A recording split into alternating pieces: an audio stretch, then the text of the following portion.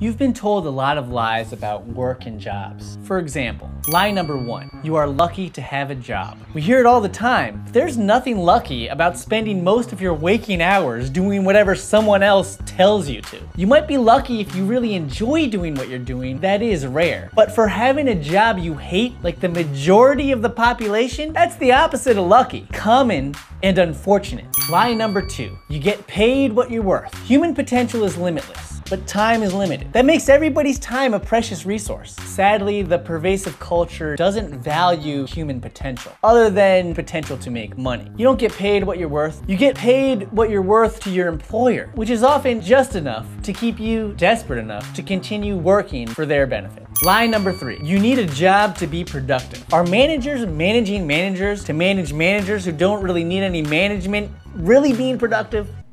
Hell is wrong with you people? All employment implies is that you're getting a paycheck. Employment does not equal productivity. In fact, those with the highest paying jobs are often among the most counterproductive. Take for example the rich investment bankers who destroyed the economy, or the rich oil companies responsible for destroying our ecosystems. It's actually surprisingly common for unemployed to be more productive than your typical paid employee. A stay-at-home mother, for example, works almost 100 hours a week. It is among the most demanding, important work there is. The future of society literally depends on their work raising the next generations. But it pays nothing. What the hell is going on around here? There's no connection between work and productivity. No connection between monetary value and real world value. Lie number four, good companies are good employers. They hire you to make money for them not because they're your friend. If they can make more money replacing you with technology or somebody more naive and financially desperate, they will. Lie number five, the unemployed are lazy. If you're unemployed, that doesn't mean you're lazy. Looking and applying for work is hard work. And so is accomplishing anything without the financial and social support of a job. I mean, really, who's more lazy? The unemployed with the self-discipline to pursue things on his or her own without oversight or payment? Or the employee who does little else than what he's told to all day? Hmm. Lie number six, work is life's mission. How's work? What do you do for work? Are the first things people ask, so naturally we've come to believe that they're the most important things. But there's so much more to live for, like happiness, health, knowledge, passion, progress. Lie number seven, everyone needs to earn a living. This was true when we all literally had to work the fields for food to live, but that's no longer the case.